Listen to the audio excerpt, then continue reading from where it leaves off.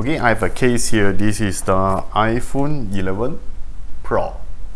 So the owner sent all the way from Bulgaria and he just needs the data recovery from the device. So he said the problem is after the phone suffer a heavy impact, the phone become fully dead. So the first step is we're gonna use the power supply to check the response. Slowly inject the voltage. So far nothing sharp At 3.8 now. I'm going to press the power button to see what's the response, why it cannot be powered. Well, I can see there's a blink. It's weird. He just blinked a little and then he blinked twice. Every time I press it, twice he blinked. Okay, I keep holding it, see what, what is it? Uh-huh, there's a full shot.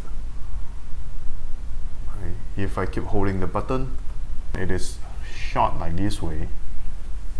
The big current is leaking.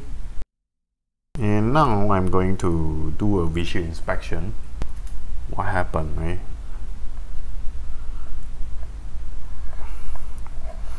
I can say it is a very bad news because I see there's a crack line between the NAND okay, eh, in middle of the NAND. This is the crack line. So I believe the short is come from the NAND the hard disk. I can see the crack line here. See? Okay. Usually I can say if the NAND flash is cracked into the half, there's no way to recover the data anymore.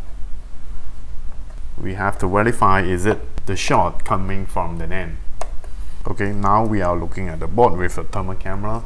Let's inject the voltage and then I'm going to press the power button and see where's the heat coming from. Turn it on.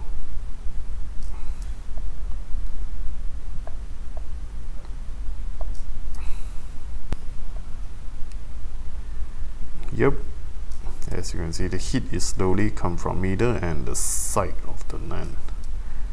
So, yep, come from the hard disk is dead. I can only replace the NAND but everything will be gone. So I have to tell the owner.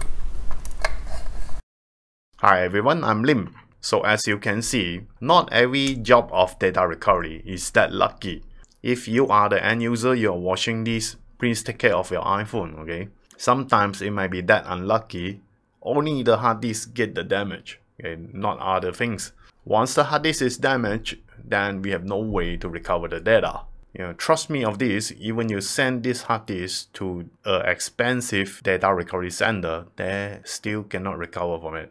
If you wonder why is that, it is because this kind of hard disk is NAND flash. It is not mechanical. Okay, inside, he has many many layers of the circuit and the chip.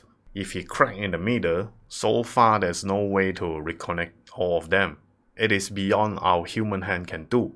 And then the next advice is you need to discuss with your technician before the repair. You should ask him after he told you the price of the repair, it is include everything on the motherboard or just that part. You should want to avoid, let's say after he replaced the hard disk and it still has other problem. Maybe the sound is not producing or maybe it doesn't have a signal. So this is why I suggest you, you ask the range of the price first. Okay, how much is the maximum to repair this device? They will check it for you. If they charge you a little fee, a small fee for diagnosis, it is okay. Usually this kind of case is not only the motherboard. Okay, the LCD is damaged, the back glass, or maybe the face ID or the camera that are affected. So he need to check every of them. In my shop, usually the first step is we put our motherboard inside your phone and to test every features, every function. And then we will write down what's the things that need to be replaced. Then the motherboard is another price. But the price I told you is not going to top up anymore. Okay, it's a fixed price. So you might notice, hey, you say just the hard disk is damaged, so why it is so expensive compared what I get from the online I can get the part myself and then I pass it to you, you install for me. We don't do things like that. Not only we cannot cover the warranty because that stuff not belong to us, and even it have a problem, the seller can say maybe our installation is the problem. Hey, we can play the blaming game. We should want to avoid that. It is because we need to cover anything happen after. Let's say after we install a new hard disk, it works, and we found oh another IC is cracked, okay, another part is broken. We don't want you to top up the price, eh? That's why we need to do a full repair. The cost repair we quote you is cover everything, except for the screen and other. There's that one we already checked in the first place. So don't be freaked out or don't be surprised if some of the technician that quote you a little expensive repair for the motherboard because they need to cover it. Maybe a few weeks later you found a new problem, right? Also, you need to ask him, is it refundable if some of the thing cannot be repaired? Or maybe after a few weeks, the phone become totally dead and I pass to you, you say it cannot be repaired. Is it refundable? You need to ask him this. How long is the warranty? This is the basic question. So that's all for the end user advices. And the last part is to my students only from the online course. In this kind of case, heavy impact device. If a phone he has a crack on the NAND, make sure you don't use the drilling machine to remove the NAND. I know some of the students that do have a drilling machine to drill the NAND off. It seems like really safe, right? But this case, it will not be safe if you use the drilling machine. And according my experience, I repair this kind of case at least about 20 devices. I have seen many of them, if they use drilling machine to drill the phone, drill the hard disk off, it end up with a CPU problem, or maybe the layer. So you sure want to avoid that.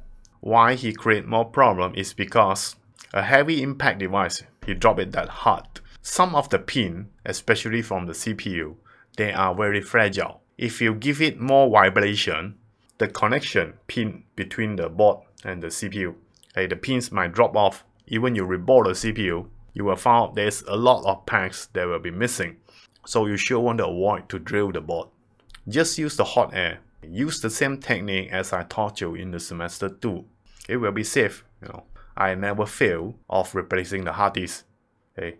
Of course, after you remove the hard disk, the first thing you test is the current response and see whether it still can detect from the PC DFU mode. If it doesn't, then you continue to dismantle the layer, you check the CPU, okay, eh, check the other things based on the power supply response. So I guess that's it for the tips and I see you on the next video. Bye.